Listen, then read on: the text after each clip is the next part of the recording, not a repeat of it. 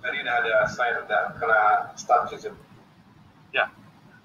Okey, Pak Ali. Assalamualaikum warahmatullahi taala wabarakatuh. Pak Ali, apa kabar Pak Ali? Waalaikumsalam warahmatullahi wabarakatuh. Kabar baik. Apa kabar juga? Kat Kuala Lumpur. Alhamdulillah di Kuala Lumpur juga ya tenang-tenang aja di dalam rumah ini. Berkurung ya? Ya, kami kami diperintahkan uh, sekarang ini Pak Ali dengan uh, perjalanan terhad uh, sudah masuk minggu ketiga Pak Ali. Sama Sama. dengan Jakarta Jizul. Ya, alhamdulillah. Dan uh, ada banyak perkara yang uh, kita pelajari hasil daripada corona ini Pak Ali. Ada antaranya adalah uh, ya uh, menjaga kasih sayang dan hubungan silaturahim itu dengan dengan ahli keluarga sendiri itu Pak. Ya, ya, ya. Ya, Baiklah. ada hikmah di balik musibah. Iya benar Pak Ali. Okeylah. Uh, izinkan saya Pak Ali untuk memperkenalkan Pak Ali kepada follower uh, LH uh, LHI punya Facebook ya. Jadi Pak Ali berasal daripada Jakarta ya. Uh, tapi Ya. sebenarnya dari Sumatera Pak Ali ya. Sumatera Utara. Ya. Ya, yang terkenal. Ya daripada Medan ya alhamdulillah. Dan Pak Ali ini merupakan uh, seorang jurulatih yang uh, amat berpengalaman tuan-tuan. Dan uh, beliau uh, pernah uh, apa namanya menjadi kalau dalam bahasa Indonesia itu karyawan.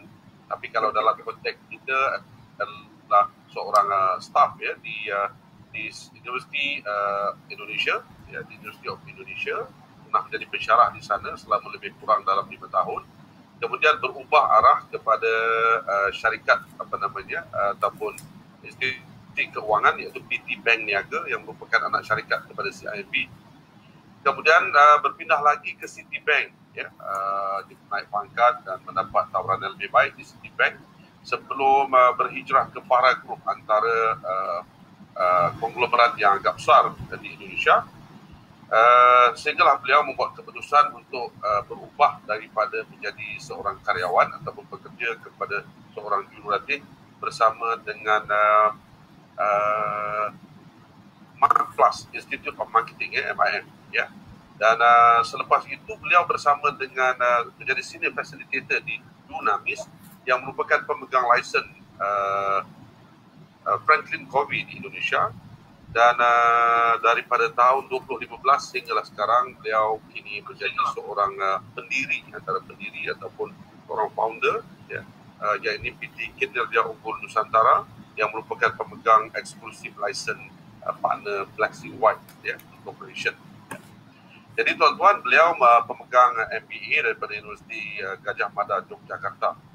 Dan uh, alhamdulillah saya sempat bersama-sama dengan beliau uh, di awal-awal penglibatan beliau uh, dalam bidang uh, pelatihan dan uh, kami sempat uh, mengendalikan beberapa uh, latihan ya, di uh, uh, di Bogor ya Pak Ali ya. Ya, di daerah puncak masa itu. Ya, sempat di Bogor bersama Pak Ali untuk uh, di Telkom kalau tak silap saya Pak Ali. Ya, betul, betul. Alhamdulillah.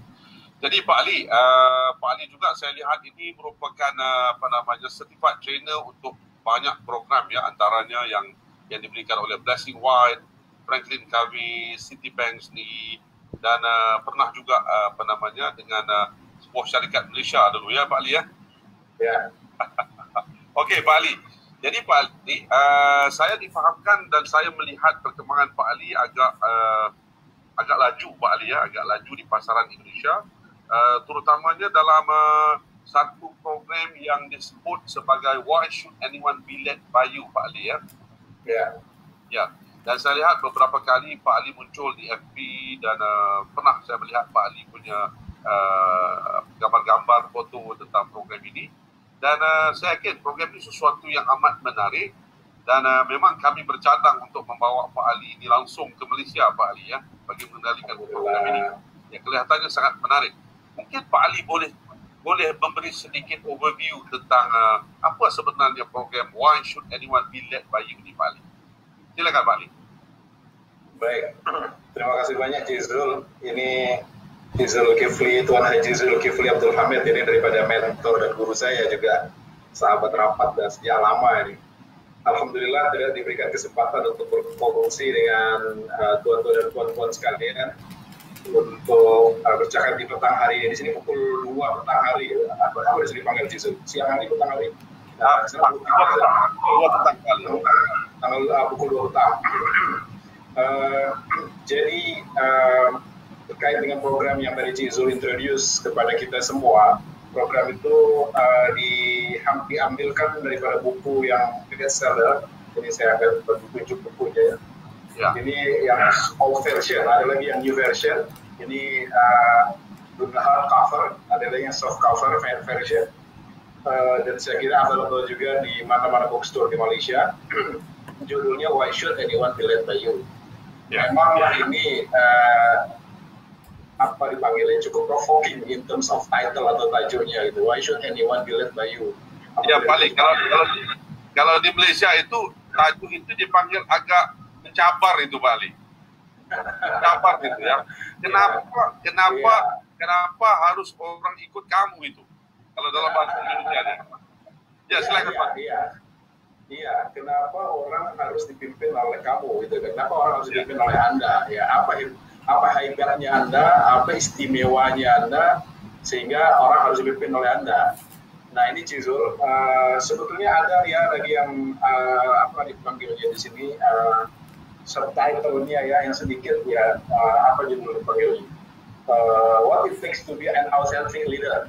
So jadi uh, buku ini uh, daripada research two, two gentlemen dari London Business School di UK sana yaitu Profesor Rob Boffey dan Pierre Jones. Uh, pada intinya dia bercerita tentang atau bercakap tentang authentic leadership. So ini the new genre of leadership. Uh, selepas ada katanya kan ada ada ada dua genre before authentic leadership. So the first genre dia bukan dia cakap bahwa masanya ketika kita bicara pasal leadership ini itu lebih banyak bercerita tentang uh, orang-orang uh, hebat, orang-orang istimewa di masa dahulu. So disebutnya Great Man Theory tentang leadership. Di masa itu kita uh, cakap pasal seorang macam apa The Great apa Alexander Agung, The Great Alexander itu kan kita yeah. bercakap soal Napoleon, kita bercakap soal kalau dalam konteks Western barangkali ada presiden-presiden hebat di masa lalu. Uh, kemudian mungkin dalam konteks Nusantara kita bercakap pasal hang tua orang-orang hebat masa lalu masa lalu lah ya. Ya. Yang itu sudah tidak ada lagi pasal, pasal barangkali kita cakap soal uh, kalau di Indonesia soal Soekarno, uh, saya tak di Malaysia mungkin ada tokoh-tokoh besar di masa lalu yang seharusnya nah, dilihat sebagai sosok atau figur daripada pemimpin yang memang ideal. Itu great man teori cara pasal itulah. Nah, ya. lepas itu dan sudah tidak ada lagi great man itu sudah tidak lahir lagi Chisel karena itu oh, pada zamannya pada konteksnya memang mereka harus seperti itu. Uh, masuk lagi pendekatan yang berikutnya uh, yang disebut dengan uh, leadership competency base. So ini bicara bercerita soal bahwa mananya di, di company atau di syarikat ada set of competencies, leadership competencies yang harus didevelop, yang harus dibangun. And then kemudian uh, orang-orang ini, karyawan ini kena didevelop berdasarkan kompetensi ini. So uh, kompetensi di sini, tetapi uh, actual kompetensi yang dimiliki oleh orang-orang selalu di sini. So yeah, gapnya yeah. selalu selalu apa ada gap yang jauh di so. Ya, yeah. ini yang pendekatan berkaitan dengan kompetensi gaps. Ya, kompetensi teori. So ini ini uh, wave yang kedua ketika orang bicara pasal uh, leadership. Nah kemudian uh, masuk pula ini genre yang ketiga berbicara pasal authentic leadership. Authentic leadership basically uh, ini punya semacam prinsip bahwa pada dasarnya memang setiap manusia terlahir berbeza. Dia punya strength and weaknesses masing-masing. So uh, dia tetap bisa untuk menjadi great leader depends atau bergantung bergantung daripada konteks yang dihadapi Yeah. So maknanya dari situlah kemudian orang boleh uh, mengembangkan, uh, membina dia punya potensi untuk leadership atau kepemimpinan ini berdasarkan autentisitinya.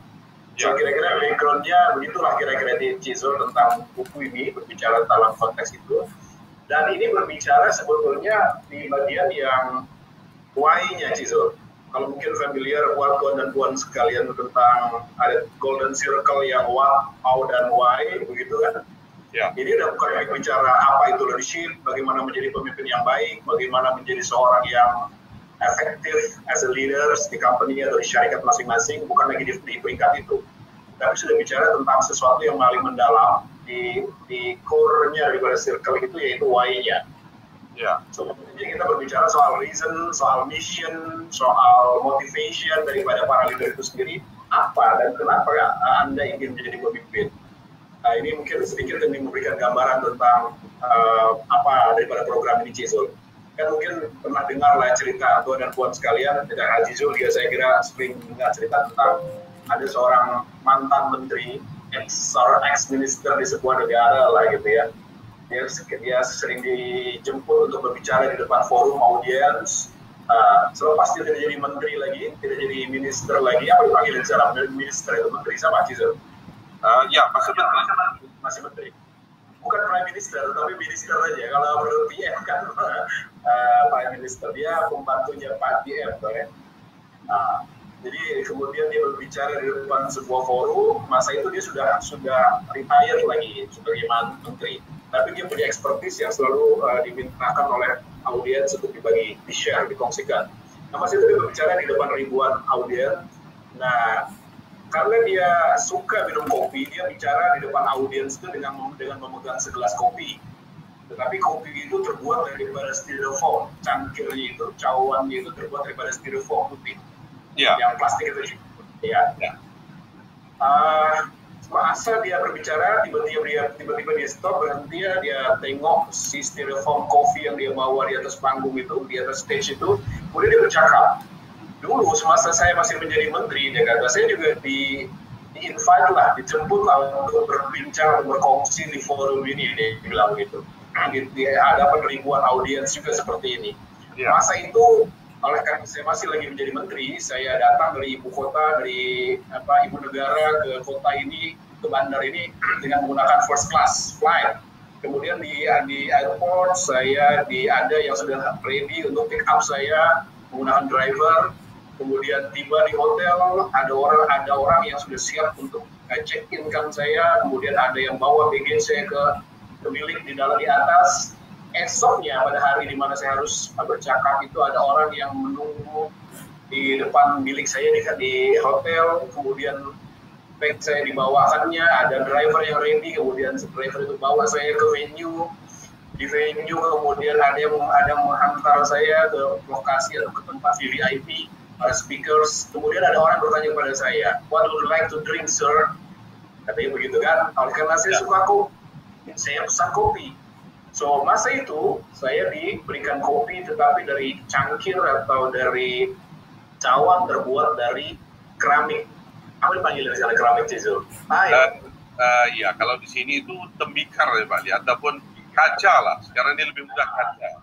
Yang sangat eksklusif itu kan, yang sangat mahal itu kalau apabila di pelatihan itu kalau kita coffee break kita kita apa namanya uh, minum kopi atau minum teh itu menggunakan itu ya. Nah masa itu karena saya masih aktif masih jadi menteri, saya diberikan kopi yang terbuat dari kaca atau dari tembikar atau dari tile itu. Saya bawa juga itu ke panggung. So jadi maknanya masa itu saya di atas panggung memegang atau menggenggam uh, cangkir yang terbuat daripada tembikar atau keramik. Nah, sekarang saya sudah pensiun, sudah retire lagi. Saya datang daripada ibu negara menggunakan low cost carrier ke bandar ini, kemudian di airport saya kena cari taksi sendiri, kemudian saya kena check in sendiri di hotel, saya bawa bag saya ke atas sendiri. Uh, esoknya masa di mana saya harus bercakap, saya pergi ke hotel ke uh, lokasi ke venue itu, saya dengan taksi sendiri.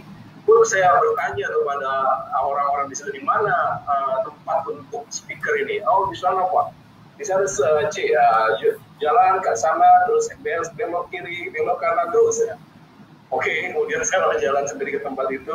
Karena saya suka kopi saya tanya juga kepada komitinya pada orang yang mengundang saya yang menjemput saya itu di mana saya bisa boleh dapatkan kopi? Oh di sana Ci ya, itu ada kopi mesin di sana. Terus saja lurus ambil kopi mesin itu kopi mesin itu so saya ambil kopi sana dan yang tersedia di dekat kopi mesin itu adalah uh, cangkir atau cawan terbuat daripada styrofoam plastik. So maknanya uh, dulu saya diberikan kopi terbuat daripada tembikar atau kaca itu sebetulnya itu bukan untuk saya, itu untuk posisi saya. Ah. Itu ada status saya sebagai menteri. Sebentar lepas saya sudah jadi jadi menteri yang apa namanya dipanggilnya. Cawan, cawan paling yang sesuai untuk saya ya cawan yang terbuat daripada plastik atau styrofoam ini. Gabus gitu. Kalau di sini dia panggil gabus itu. Gabus ya, ya yang selepas minum sekali terus dibuang, Pak Cizul. Ya, pakai ya, buang. Pakai buang. Nah, ya, jadi dulu tembikar yang diberikan pada saya itu bukan untuk saya, itu untuk posisi saya, untuk status saya sebagai menteri. Yang sekarang yang sesuai dengan saya ya mungkin gabus itu saja. So, jadi mana kira-kira itu Cizo, uh, secara panjang kali lebar bahwa why should anyone be led by you ketika kemudian uh, status posisi position itu kan sudah tidak ada lagi apa yang kita mau jual pada audiens kita. Jadi paling ya, yang yang saya dapat moral daripada cerita ini ialah uh, ada pemimpin dipatuhi diikuti karena jawatannya ya. Yes dan bila hilang jawatan itu ya berarti dia tidak lagi mendapat pengiktirafan ya, ya. sebagai pemimpin ya. uh, uh, turun tarafnya itu kan dan uh, ya, kalau tadi kita ambil cawannya itu daripada seramik hmm. jadi turun sampai ke peringkat styrofoam kan itu ya. penurunan yang sangat jauh itu ya. dan saya nak tanya Pak Ali sama ada uh, uh, apa namanya uh, kalau sekiranya kalau bukan karena jawatan maka pemimpin itu dipatuhi, diikuti. Kenapa Pak Ali? Ya, uh, ini kan um, biasanya kita di dalam program leadership Cizul, saya kira Cizul juga kerap lah mengajarkan ini dia, dia dapat partisipasi di kelas-kelas kita kan. Ya. Bahwa ada ada lima kalau tak silap itu berdasarkan uh, John Maxwell itu kan ya. tentang bagaimana lima uh, apa level of leadership dikata gitu kan. Ya. Ya. Nah ini yang jadi berkaitan dengan golden circle yang tadi saya katakan itu ada golden circle, so ada ada what, how, dan why. Nah, terus di sisi yang berbezanya ada lagi five level of leadership daripada John Maxwell kalau tak silap. Ya, ya betul. Nomor satu itu kan uh, pemimpin dituruti oleh karena positionnya kan, karena jabatannya. Ya. Nah ini kan masih lagi peringkat luaran sekali ya, very apa namanya, apa di permukaan surface lah, sesuatu yang memang dia punya jawatan, dia punya position, seorang tunduk, orang ikut dia yang berikutnya oleh karena dikata uh, apa yang kedua dipanggilnya oleh karena uh, productionnya kalau tidak salah. Yeah. Uh, permission, sorry permissionnya ya. Ya. Permission itu ya, atau ya. orang, orang ikut dia karena dia dia itu sudah ada apa pencapaiannya. Yes, yes. Ya. Kebolehannya. Ya, ada kebolehannya di situ. Itu juga masih di kalau menggunakan framework yang tiga tadi, yang golden circle tadi itu masih di luar gitu, situ. Masih di luar lagi ya masih bicara soal apa position kemudian permission. Nah, yang ketiga ini sudah agak ke dalam ke how-nya barangkali kan, bicara soal production. Nah, karena memang ada sesuatu yang dia produce, ada sesuatu yang dia hasilkan oleh karena barangkali memang apabila dia menjadi seorang pemimpin, seorang leader, uh, dia dia boleh meng-create something yang very big different ya misalnya karena barangkali sentuhan daripada apa namanya tangan dia bisa merubah daripada batu menjadi emas katakanlah semacam itu itu production ya. Dan nomor empatnya dikata lebih kepada yang berkaitan dengan development. Nah, ini di sini kita jumpa dengan apa yang disebut leader create leaders. Oleh karena barangkali as a leader orang ini dia bisa meng-create another leaders atau prepare another leaders ya dengan dimensi yang berbeda. Nah, yang terakhir ini karena ini yang kita, yang kita bincangkan ya John Maxwell kata itu berdasarkan pinnacle-nya karena who you are-nya because of your personal quality-nya. So jadi sudah tidak lagi bicara atau cakap soal pasal production, pasal development, apalagi pasal position, tapi who you are, you have your personal quality, your unique uh, quality, so everybody can uh, follow you. Every setiap orang boleh atau ingin menjadi daripada uh, membernya dia atau orang yang dipimpin oleh dia. Nah itu yang ya. mau diambil yang di core-nya yaitu yang pinnacle dari itu Zul. Pasti.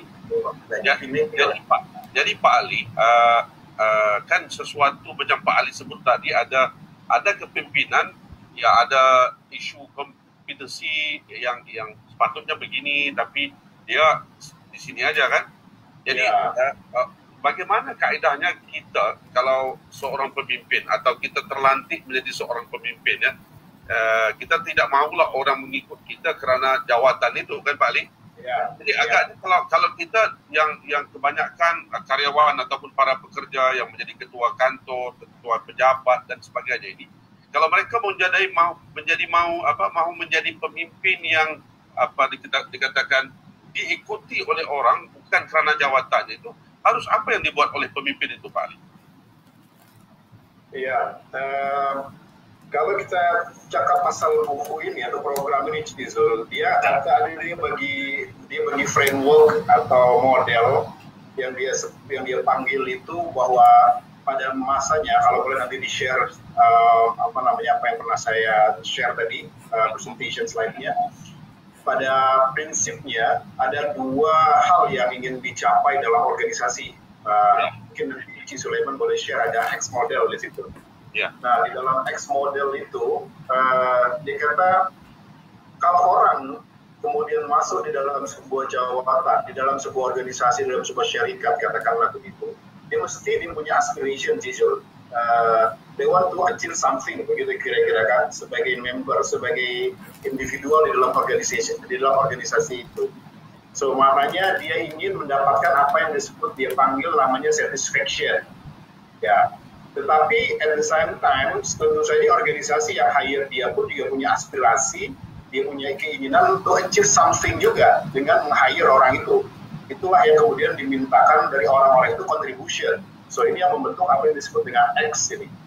Jadi ada ada organization di mana leader ini representing organization, they want to achieve something gitu ya. Dan uh, in order to achieve something, uh, individu in the organization must contribute.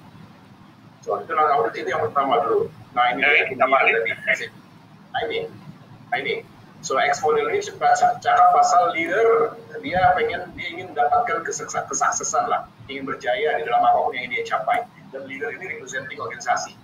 Yang disebut dengan sukses di sini uh, in, include di dalamnya pasal soal achieve target, dia bicara soal strategi, bicara soal lagi gitu. pasal apa namanya uh, not only strategi tapi juga values. Ya. Nah Nilai. kemudian Soal nilai. ya, Soal Ya. nilai. Next ya kemudian ada lagi nah followers atau orang-orang yang bekerja di dalam syarikat itu di organisasi itu dan dia masuk dia uh, bekerja di situ juga untuk mencapai keinginan sukses atau berjaya juga. Tetapi dalam path yang berbeda. Nah, yang disebut dengan sukses dalam konteks follower itu adalah berkaitan dengan satisfaction. Nah, satisfaction ini pun juga satisfaction yang terkait dengan uh, values, yang terkait dengan strategi, personal dan sebagainya dan sebagainya. Nah, ini kan ada intersection di sini Cizul. Uh, mereka bekerja dengan syarikat dengan organisasi ini bukan karena mereka cinta dengan leadernya ya, karena mereka menjadi keinginan. Jadi mereka mungkin barangkali ingin rumah yang besar, kereta lebih besar mungkin ya, atau uh, apalah yang terkait dengan dreams dan visionnya dia. Nah, oleh karena itu yang yang patut dilakukan oleh para leader adalah bagaimana si leaders ini dia berikan keinginan kepuasan tersebut agar orang itu bisa memberikan kontribusi yang maksimal. So di sini definisinya dikatakan di dalam buku ini bahwa cuma dua dua hal itu saja yang diinginkan yaitu bagaimana agar orang ini orang-orang yang bekerja dalam syarikat ini memberikan kontribusi yang maksimal itu maknanya bagaimana caranya mereka juga diberikan sesuatu yang bisa mereka mendapatkan satisfaction yang maksimal. Nah berkait dengan satisfaction ini ini bicaranya bukan sekedar bicara soal salary atau atau gaji apa haji ya bukan cuma bicara soal uang saja ini bicara Ya. main spirit dalam Indonesia kita tahu itu so jadi bagaimana maknanya as a leaders dan dia harus mencoba memenuhi kasta follower needs-nya Cizul. Nah ini ini cakap pasal follower needs apa sih kebutuhan daripada followers ini yang harus dia penuhi as a leader begitu kira-kira. Oke. Baik. Jadi Pak Ali, maknanya Pak Ali tadi membawa dua dimensi, satu yang yang uh, dari segi leadernya, yang kedua Ya. dari segi pengikutnya. Yes, Ah, follower. jadi bagaimana Pak Ali meng- mengaitkan bahawa uh, seorang pemimpin itu suksesnya itu tergantung kepada apa namanya uh, ketaatan pekerjanya tadi itu ataupun kejayaan pekerjanya tadi itu. Iya, kan kalau kita bercakap pasal leadership ini Cizul, kita paham lah ya.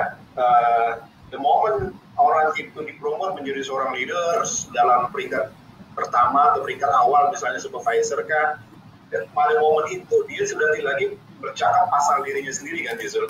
Iya. Dan uh, they have to get the things done through others kan begitu definisi yang basic tentang leadership tentang supervisory. Masa ketika dia menjadi individual contributor, uh, they atau dia atau she can do anything within themselves lah. Dia bisa solve, dia bisa deliver something, uh, tidak tidak tidak pusing dengan dengan orang lain. So ma- maknanya dia deliver sesuatu itu berdasarkan dirinya sendiri. Tetapi once dia dipromote to become a supervisor atau leader, nah di situlah barangkali dia harus get things done through others tadi. Nah, through others ini yang pelik kan Cizul. Ya, ya. Ada satu orang lain ini kan dia punya pikiran, dia punya mindset, dia punya paradigm yang tidak selalu boleh dilihat oleh si leaders yang bersangkutan. Nah, itu maknanya uh, penting untuk memperhatikan dari sudut pandang followers, dari sudut pandang pengikut. Apa maunya, apa kebutuhannya supaya at the end leaders ini tetap dia punya tadi target atau atau uh, achievement yang harus dia deliver kan Cizul yaitu kesuksesan, keberjayaan daripada organisasi. Ya. Tapi itu harus di accomplish through others. Nah, others ini yang kemudian juga kena diperhatikan apa kira-kira apa dipanggil kalau di sini dipanggilnya kebutuhan tapi saya tahu di Malaysia itu bahasanya kebutuhan itu agak-agak itu Ya, keperluan Pak Ali. Keperluan. Ya, keperluan keperluan daripada si pengikutnya ini kan kena diperhatikan dengan baik, main body art, spirit. So jadi kira-kira macam itulah luas tentang itu. Jadi bermakna Pak Ali, uh, untuk seseorang itu mengikut ataupun mengiktiraf seorang lain itu sebagai pemimpin, bergantung banyak kepada bagaimana pemimpin itu membantu pekerjanya ini menjadi seorang pekerja yang baik, ya, ya. dan uh, akhirnya mencapai target kerjanya, ya. Jadi uh, bermakna si pemimpin itu harus menjadi bukan saja pemimpin, barangkali menjadi guru, barangkali barangkali menjadi penasihat, ya, barangkali menjadi coach ataupun jurulatih kepada pekerja. Ya. Adakah ya. tadi? Ya betul Cizul, itu di peringkat how memang begitu. Tadi masih kita bicara pasal tiga lingkar tadi itu kan, kalau dari ya. circle tadi yang what, how, dan why-nya. Di pada peringkat how-nya iya, pada akhirnya sebagai seorang pemimpin uh, dia tidak cukup hanya sekedar menjadi orang yang bagi tunjuk uh, apa namanya perintah memberi arahan begitu ya. ya tetapi at the same time dia harus memperlengkapi dirinya dengan skill set yang yang banyak lagi dari yang seperti Zul katakan uh, berkaitan dengan dia menjadi seorang guru pembimbing menjadi seorang mentor kadang-kadang dia kena menjadi seorang sahabat ya untuk berbagi keluh kesah begitu berkait dengan kehidupan personalnya. Nah, di atas itu semua juga dia kena tahu persis apa yang menjadi apa yang menjadi orang lain.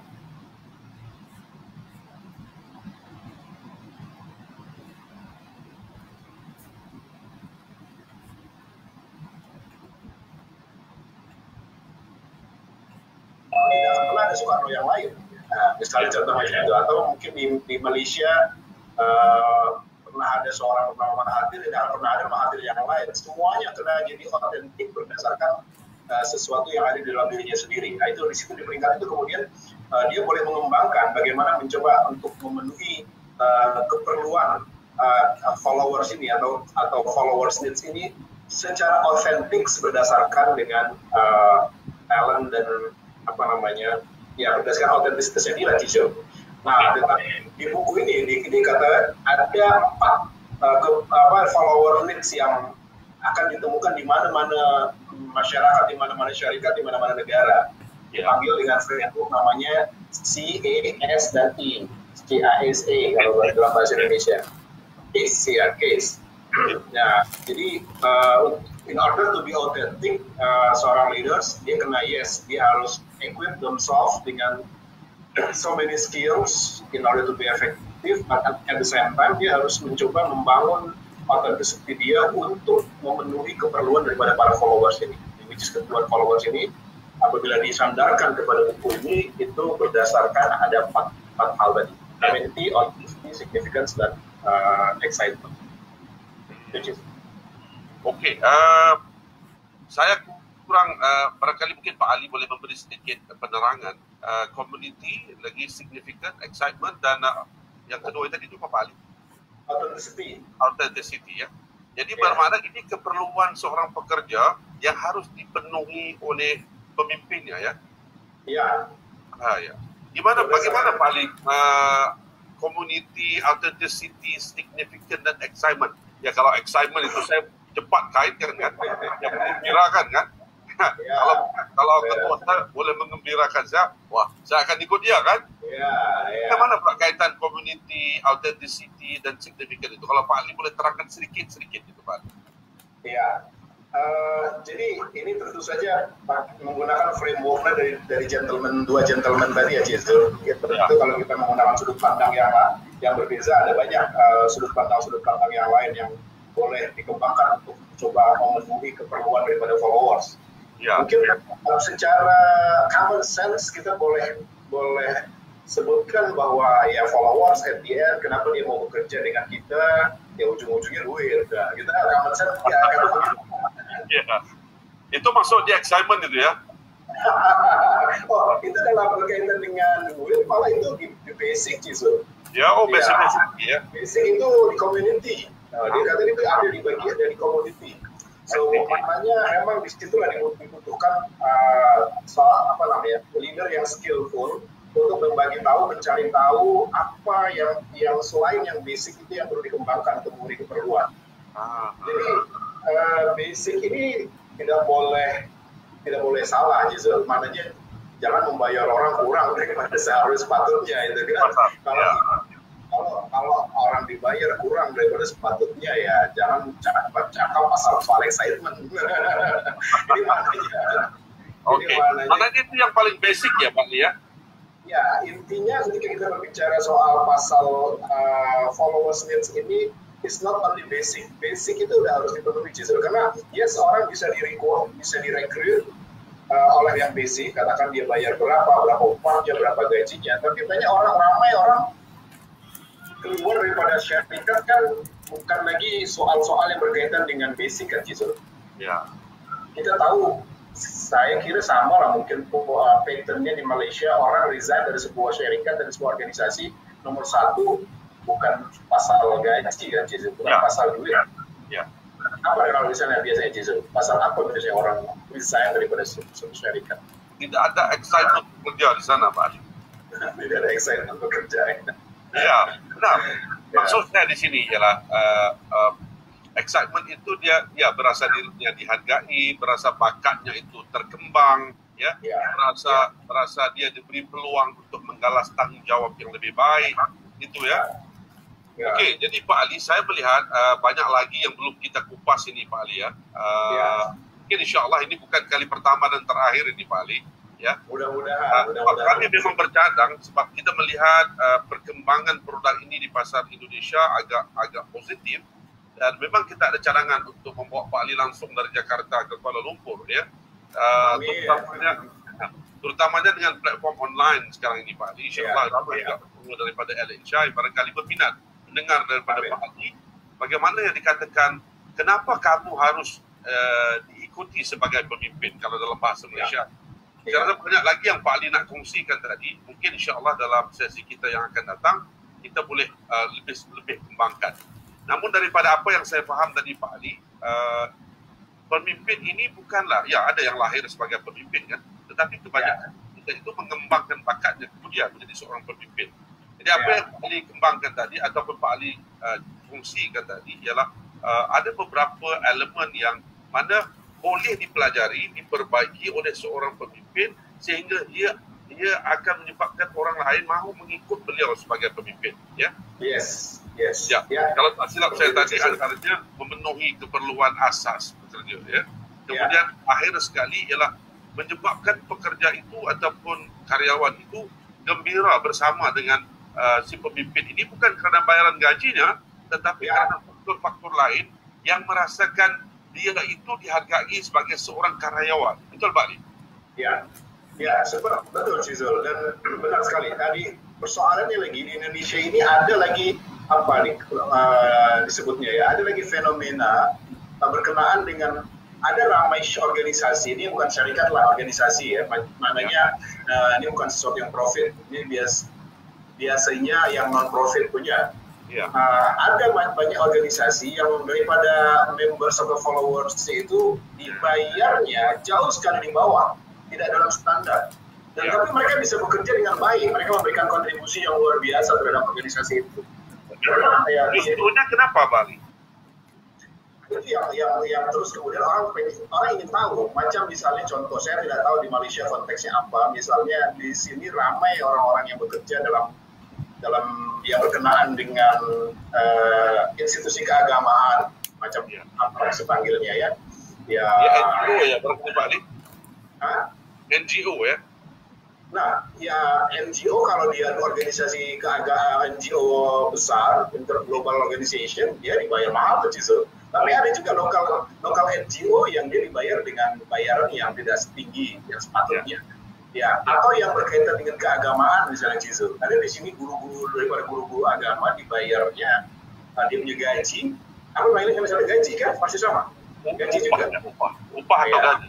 Ya. upah atau gajinya di below standar, ya kan? Tapi dia tetap dia datang setiap hari, tetap dia mengajar atau uh, berkongsi tentang ilmu keagamaan dengan semangat, dengan excitement, tidak pernah ada keluh kesah di kepala di wajahnya. Ya yang dihajar pun juga barangkali anak-anak gitu ya uh, apa budak-budak itu di surau gitu kan nah, itu dibayarnya tidak sama dengan uh, bayaran atau upah atau gaji daripada karyawan katakanlah di sebuah organisasi. Nah ada lagi Cizul di Indonesia ini Pak, ada sih. Ya. Uh, barangkali mungkin masa sangat mencemburui kita ini Pak Ali. Kalau, di Malaysia ini Pak Ali akan ada siaran langsung daripada Perdana Menteri. Oh iya iya iya ya. Tentang perkembangan uh, MCO ataupun coronavirus ini. Jadi uh, mungkin barangkali insya Allah kita akan sambung lagi dengan Pak Ali. Uh, Ya, cuma ada Allah, apa yang saya boleh lihat tadi adalah uh, kualiti pemimpin itu yang boleh ditambah baik, ya, yang boleh dipelajari, yang boleh di, uh, di apa namanya dipertingkatkan, ya, uh, Ya. dan dan kualiti itu ialah bukan berkenaan dengan diri dia, tetapi kualiti itu adalah berkenaan bagaimana dia membangun, menghargai, ya, karyawan Ya. atau pekerjanya yang menyebabkan orang lain mahu mengikut beliau, ya. Pak Ali kaitkan Yes. tadi dengan uh, dua, satu yang daripada uh, buku uh, Why Should Anyone Led by You dan juga juga daripada John C. Maxwell daripada uh, level 5 leadership tadi ya. Yes Baiklah Pak yes, Ali, saya yes. terpaksa uh, uh, berpisah dengan Pak Ali insya-Allah Ya, terima kasih, dalam Zul. yang akan datang ya. Terima Ya. kasih banyak Pak Ali. Semoga Terima kita tetap selamat dan uh, semoga Pak Ali selamat insya-Allah dan keluarga dan juga rakyat Indonesia. Assalamualaikum. Amin, amin. Waalaikumsalam warahmatullahi wabarakatuh.